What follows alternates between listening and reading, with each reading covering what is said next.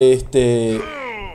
Están en el segundo game, sí, el primer game no llegué porque como les comento, estaba en la facultad, recién acabo de llegar, ya me pasaron la contraseña, así que estamos totalmente en vivo, joya, joya, estás en vivo y se escucha perfecto, dice Gonzalo, Miguel Colmenares, dice El River, sí, hola, ¿cómo están? Buenas Robert, ya estás en vivo, se escucha perfectamente, saludos, dice Paflac, este, muchas gracias por estar entonces con nosotros hoy y vamos a empezar, este es el segundo game, es mejor de 7 a no ser que The Viper y MBL ganen el mejor de 7, en ese caso se transforma en un mejor de 11. ¿Por qué? Van a preguntar, yo les respondo porque MBL y The Viper vienen de la loser bracket. Así que, este...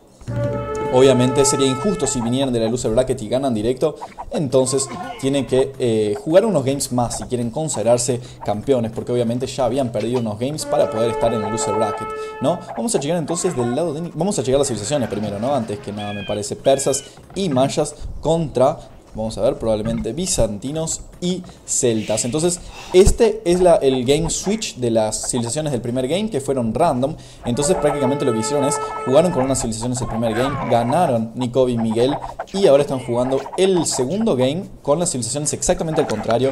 Así este, puede, puede ser justo, ¿no? O sea, así no salen civilizaciones mal. Voy a ver si posteé en Facebook, me parece. Vamos a chequear, ahí está, joyas posteé también. Así que debería este, todo el mundo estar enterado. Así que ya podemos empezar a transmitir normalmente. Saludo de Córdoba, dicen ahí Nicolás Calizaya. Un saludo a Córdoba entonces. Vamos a ver cómo vienen los, los eh, equipos, ¿no? Porque acabo de entrar al game, probablemente están tan perdidos cuanto yo. Aparentemente en score de equipo vienen muy muy parejos, sin embargo de, eh, Viper y MBL ya están yendo a castillos.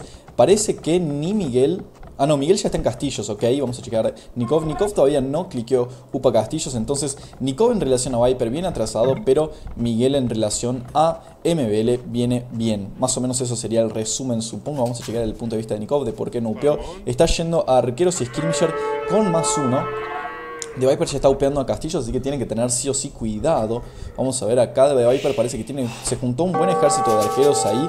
Es los celtas, Así que este, puede ser peligroso si llega a meter un taller de maquinaria de asedio adelante, ¿no?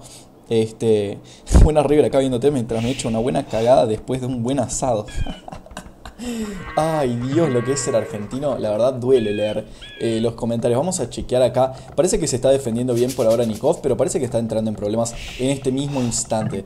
Está sacando la mejora del más 2, está sacando crossbow y la segunda mejora de la madera. Tiene un gran ejército, vamos a chequear la diferencia militar. Tiene 28 unidades militares, Nikov apenas 17, así que viene mucho, mucho mejor acá de Viper. Puede ser, peligrosísimo esto para Nikov. Viene perdiendo, sin duda viene muy, muy atrás. El jugador de Argentina que tanto amamos de Viper parece que toma la delantera fácil en este game. Nikova ahora está upeando castillos.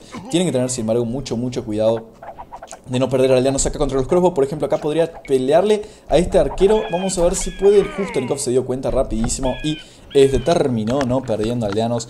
Así que este, buena reacción ahí de parte del argentino. Ahí está en el medio de la base de MBL eh, Miguel acá con unos no sé, yo diría unos 12, 13 arqueros y algunos skirmishers. Sin embargo, ya viene ahí con Elite Skirmisher el jugador verde. Así que este me parece que va a poder expulsarlo de acá, ¿no? De Viper sacó algunos jinetes. No me gustó esta opción. No hubiera preferido quizás este crossbow. Pero parece que, eh, eh, pensaba que, que, iba a sacar muchos, muchos skirmisher. Entonces optó por sacar un par de jinetes. Yo hubiera preferido que hubiera seguido full este crossbow con una catapulta acá. La verdad hubiera sido mortal teniendo en cuenta que Nikov tiene el oro principal adelante. Pero muy buena micro acá de parte de Viper que está matando un enorme grupo de arqueros acá. Ya viene mil puntos arriba del argentino. Y en esta, eh, acá podría llegar a matar muchos aldeanos. Vamos a ver cómo consigue ya mató uno, mató dos, mató tres. ¿Cuatro cadáveres puede ser? No, apenas tres cadáveres por ahora. No, cuatro. Acá veo un cuarto cadáver, así que mató cuatro aldeanos ya. Viene arriba, viene sin duda muy, muy arriba. Este, pregunta Nikov, you winning anytime soon. Claro, este, está totalmente Nikov, ¿no? Está mucho, mucho peor. Ya perdió la torre contra los jinetes de Viper. Esto es, esto es GG para Nikov, así que está esperando prácticamente a ver si Miguel puede hacer un buen trabajo este, matando a MBL y después ayudándolo, porque si no, puede llegar a ser GG esto. Nikov no tiene el más 2, así que esta pelea la va a terminar perdiendo tarde o temprano. Apenas se suba a la colina acá de Viper, se subió muy bien, mató los eh, aldeanos. Sigue matando más y más aldeanos. Parece que está total muerte muerto Nikov. Está esperando solo que...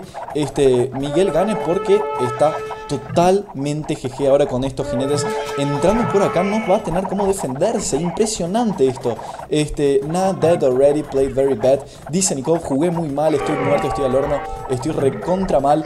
Me hicieron pija y dice let's GG y pone el GG Nikov este MBL pone el G.